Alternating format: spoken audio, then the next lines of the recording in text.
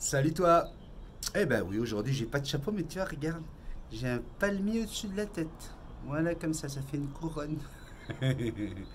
Comment ça va? Ah écoute, euh, c'est mardi, et aujourd'hui je vais interviewer une personne très importante euh, pour moi, dans ma petite vie. Euh, pour moi, c'est la plus jolie Miss de toute l'histoire des Miss France, tout simplement parce qu'elle d'abord elle a été Miss Tahiti en 1990, puis elle a été Miss France en 1991, mais surtout parce que c'est une copine. On a, on a grandi ensemble, enfin ensemble, dans le même quartier à Punaouia, et, euh, j'avais été très impressionné, et je vais lui dire tout à l'heure à l'antenne, à la radio, il y a un moment que j'oublierai jamais de ma vie, c'est que le jour où elle est revenue de France avec son diadème euh, de Miss France, je sortais de mon petit chemin, et il y avait des milliers de personnes hein, tout le long de, la route, hein, tout autour de l'île.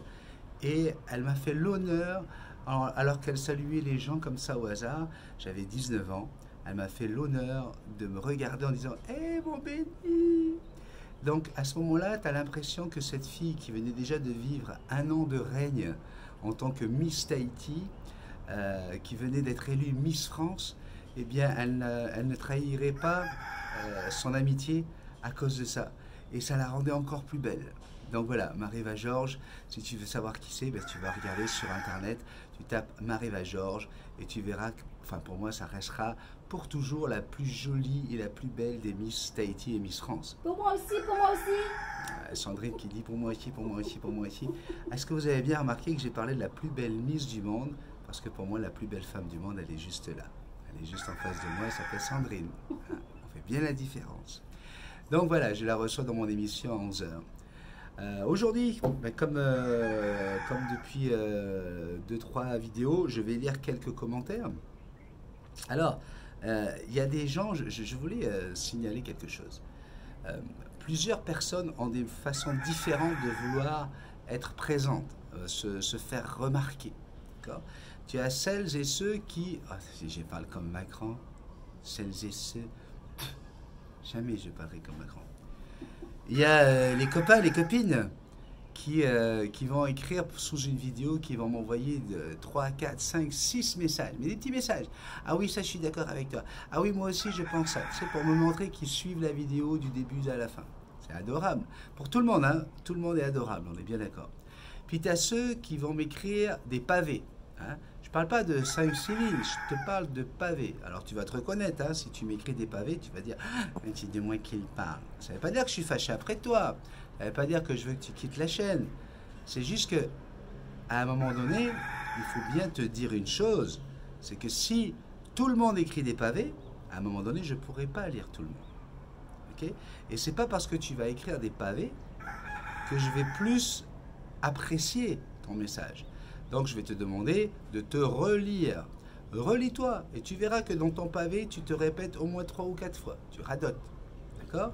Donc, et attention, quand je dis tu, vous êtes plusieurs. Hein? Je ne m'adresse pas à une personne. Et j'avais envie de vous dire une chose. À un moment donné, pour prendre une place, ne prends pas toute une place. Ne prends pas toute la place. Partage-la. Parce que si tu partages la place, tu te feras encore mieux remarquer et tu pourras permettre à tout le monde d'en profiter. Ça, c'est une philosophie de vie.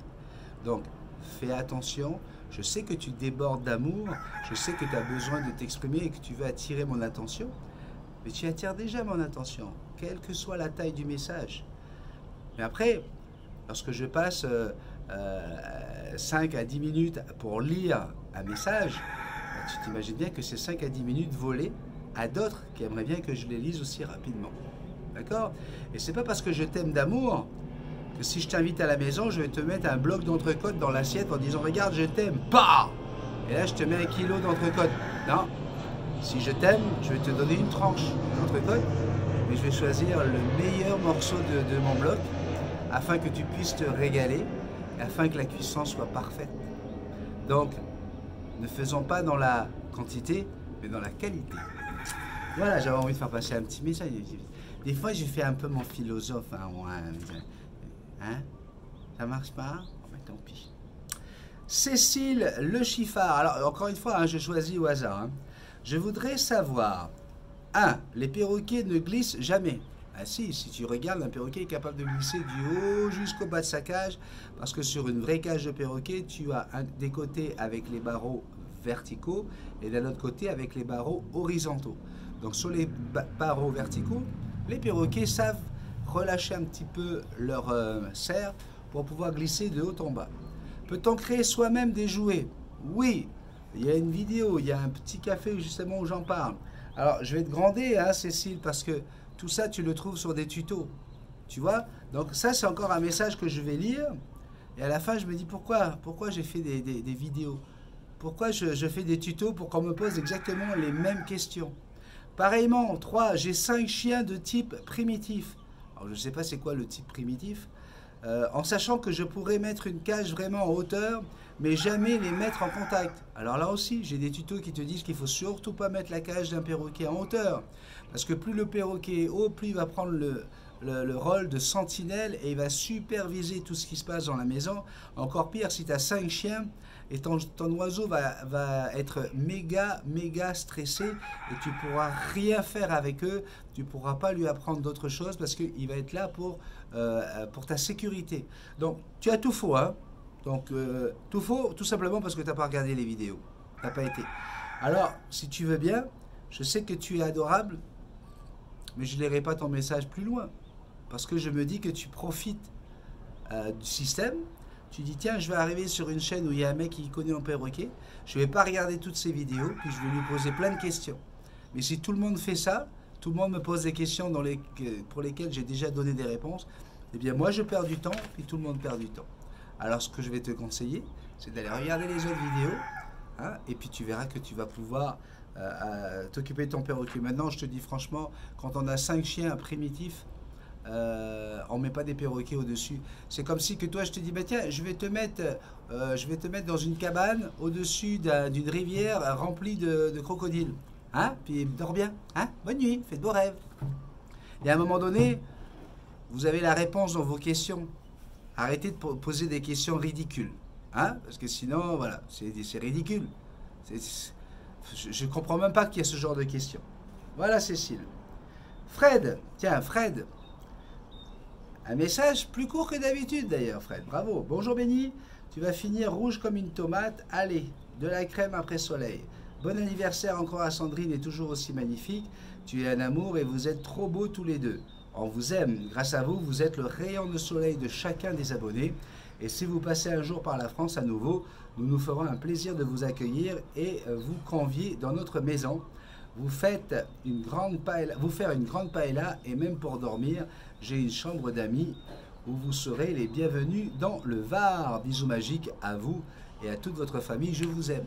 Là aussi, vous êtes très nombreux à nous proposer justement d'aller chez vous, d'aller dormir dans vos maisons, d'aller manger avec vous. Ça serait tellement merveilleux de pouvoir le faire avec tout le monde. Et euh, on se fera un plaisir si jamais on refait euh, une tournée en France. Mais vous comprenez bien qu'on ne pourra pas aller chez tout le monde. D'ailleurs, en parlant de, paella, il y a Isabelle euh, Isabelle de Bordeaux qui nous a fait une magnifique paella l'année dernière qui dit Coucou Béni, j'espère que ça s'est bien passé la journée de dimanche.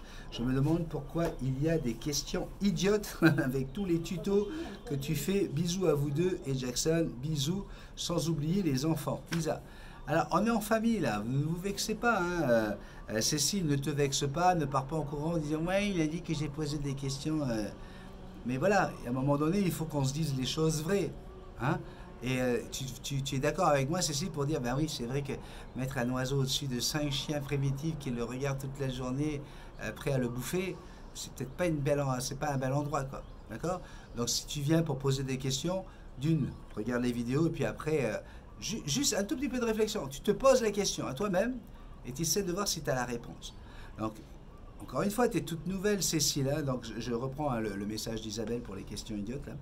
Euh, encore une fois, il y a cinq, euh, quatre règles dans la chaîne Multitasman. Il y a l'amour d'abord, donc si tu aimes ton oiseau, tu vas pas le mettre euh, au-dessus de, cinq prédateurs.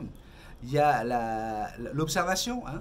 Lorsque tu vas mettre cet oiseau au-dessus des cinq chiens, tu vas voir que tes chiens sont là en train de le regarder, à sauter, à vouloir essayer d'attraper la cage, à aboyer. Donc hein, tu observes et tu observes que ton oiseau, il est tout en haut. D'accord? Observation. Logique, hein, la logique. Logique. Hein. Si toi je te mets au-dessus de 5 crocodiles, tu vas pas aimer ça. Ben là, c'est logique que ton oiseau ne va pas aimer ça non plus. D'accord? Euh, Et la patience. Hein, la patience, ça fait partie des règles. Ça, c'est euh, parce que tu vas devoir apprendre à mettre ton oiseau dans un endroit plus calme et tu vas attendre qu'il s'habitue à l'environnement, qu'il s'habitue à tes chiens primitifs avant de, pouvoir euh, décider si l'endroit est bon ou pas. D'accord? On n'est pas facile, hein, Cécile hein? Surtout pas. Sinon, c'est que tu n'as rien compris. Chantal, ma petite Chantal. Voilà une habituée. Coucou Béli, il y a un problème avec le sous-titrage de tes vidéos. Il y a des mots que tu dis et ça marque autre chose. Je ne sais pas si tu veux faire quelque chose pour corriger cela. Bisous magiques. Alors malheureusement, le sous-titrage offert par euh, YouTube, je ne contrôle rien. Euh, je pourrais, me taper toutes mes vidéos et, réécrire euh, pour être certain que ce qui est écrit soit ce que je dis. Mais là, c'est un sous-titrage automatique. Donc ma pauvre Chantal, il va falloir s'y faire. Je suis désolé, je te fais un gros bisou magique. Hein. Et je fais un gros bisou magique à Fred, et à Cécile, et à Isabelle, hein, tout le monde. Hein. Et on a Jenny qui me dit Coucou mon béni, super Si vous avez passé une belle journée avec Sandrine, il faut en profiter de ces beaux moments. Comme tu dis, quand on veut deux perroquets, il vaut mieux qu'ils soient de la même nichée. C'est exactement ce que mon éleveur est en train de faire avec mes deux albas. Euh, par contre, le monsieur un peu dur à décoder. Je pense que le décodeur est cassé. Bisous magique. Ça, c'est au sujet d'un message que j'ai lu euh, dans la vidéo d'hier où effectivement, très difficile à comprendre, hein, l'abonné. Il, y a des fois, il vous suffirait, s'il vous plaît, de prendre le temps de relire votre message. Et ça, je trouve ça assez euh, rigolo. On va dire ça comme ça. Parce que moi, je me tape tous vos messages et vous, vous n'êtes même pas capable de relire le vôtre. Pour beaucoup, pour certains. Et ça serait un minimum, parce que des fois je m'appelle Jenny, des fois vous avez écrit trop vite, alors que vous vouliez dire trop vite, euh, parce que le B est juste à côté du V sur votre clavier, et du coup ça n'a plus du tout le même sens. Hein. Ah ouais, ouais, ouais, ça ne veut plus rien dire du tout, tu vois. Mais ça, ça prend juste quelques secondes de lecture. Et toi, tu ne veux pas prendre ces quelques secondes, mais tu attends de moi de prendre toutes ces minutes pour te lire. Donc encore une fois, la, petite euh, idée philosophique de cette vidéo, c'est ne prends pas toute la place, partage-la. Je te fais un gros bisou magique. Je t'aime.